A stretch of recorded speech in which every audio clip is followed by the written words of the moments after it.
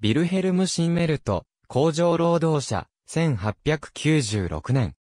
シンメルピアノの内部、 Wilhelm Schimmel Pianofortefabrik GmbH、通称シンメルは、ドイツのピアノ製造会社である。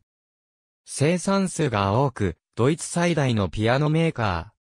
クリスタルピアノの開発などでも知られる。数世代にわたって、シンメル家による、同族経営を続けている。現在の主要株主は、中国のパールリバーピアノグループである。1885年、ビルヘルム・シンメルによって、ライプツヒで創業され、1939年に、ブラウンシュバイクに移転した。アップライトピアノの小型化を成し遂げたメーカーであり、大量生産の利を活かし普及価格帯からのラインナップを持つ。クリスタルピアノやルイジ・コラーニのデザインしたペガサスピアノ等も製造する。かつてヤマハが日本代理店であった。現在の日本総代理店は東京都国立市の武蔵楽器。1961年にフランスのガボ・エラール・プレーエルを買収、25年間プレーエルのピアノを生産した。2009年8月に経済危機を受けて破産手続きを申請した。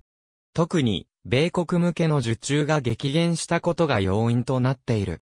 2010年4月、会社が財政的に再建された後、再び支払い能力があり、健全となり、ドイツ当局による保護状態が解かれた。2010年5月、ブラウンシュバイクのブラウンシュバイク大聖堂で125周年の特別式典が開催され、いくつかの新モデルが発表された。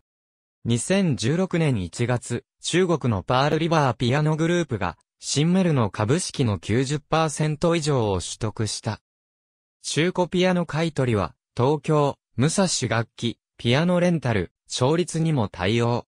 www.musashi-gakki.co.jp 2020年7月22日閲覧。Schimmel Pianos ドイツの名門ピアノ Schimmel Pianos、シンメルピアノ。SCHIMMEL-PIANOS.jp 2020年7月22日閲覧。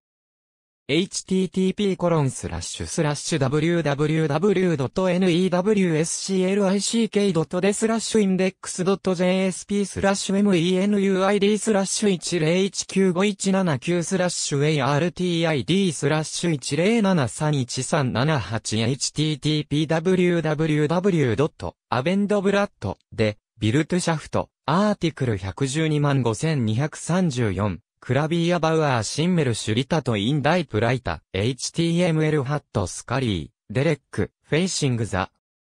ミュージック、ハウ、チャイナイズバイイングジャーマニー、エスピアノインダストリー。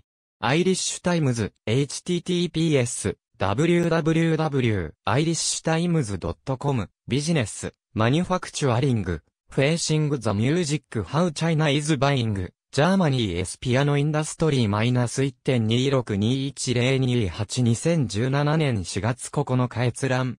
ありがとうございます。